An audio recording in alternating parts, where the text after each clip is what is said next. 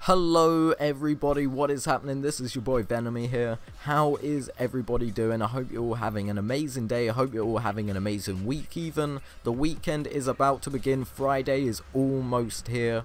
Overall though, I hope you're all doing alright. I've got a sexy ass video for all of you mofos today. Um, I'm going to be doing an is it worth it video on the new plane that was recently added. Um, the plane is called Pyro. Honestly, it is a thing of beauty. It looks sexy as fuck. Um, honestly, I cannot wait to talk about it. But before we start, obviously, if you're new around here and like what you see, then definitely drop a like and subscribe to join this fucked up and amazing family. Now let's jump straight into this. Now, straight away, the trade price is 3.35 million. Um, it is 33 steal missions to unlock.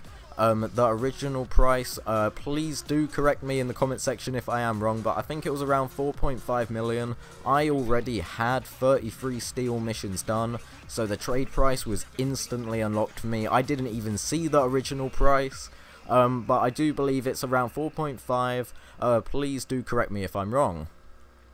Honestly though, the customization on this plane, um, the liveries, um, they look awesome. I was looking at the stealth one for a while. That thing looks awesome. It kind of looks a little bit like a stealth bomber.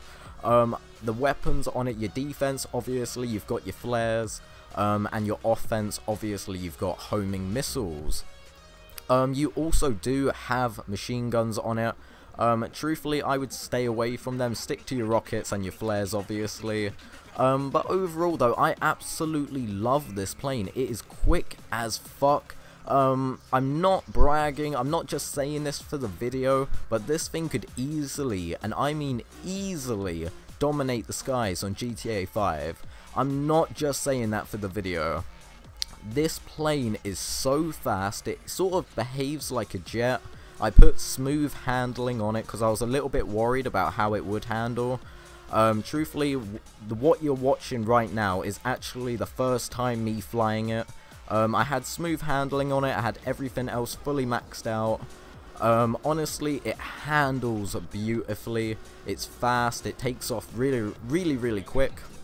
If you actually want to drive around the military base for a little bit, um, it actually does sort of fly on the ground perfectly well. It is just honestly a thing of beauty. Uh, that is about the only thing I can say about this plane. Um, is it worth the trade price? I know not a lot of planes that have actually come out in the Smuggler's Den have actually been worth the price that Rockstar expect us to pay. But truthfully, for this plane and how it sort of behaves and how it acts, I would say it is worth it. If you've got 20 mil, then you've already got it and you probably love it. Um, if you've got around 5 mil and you're not too sure if it is worth it, trust me, it is worth it. But this has been your boy Venemie here. Don't forget to leave a like, comment, subscribe stay up to date with the sexiest, and I mean the sexiest GTA 5 content. And if you're new around here and like what you see, why not subscribe to join the family? But this has been your boy Venemie here.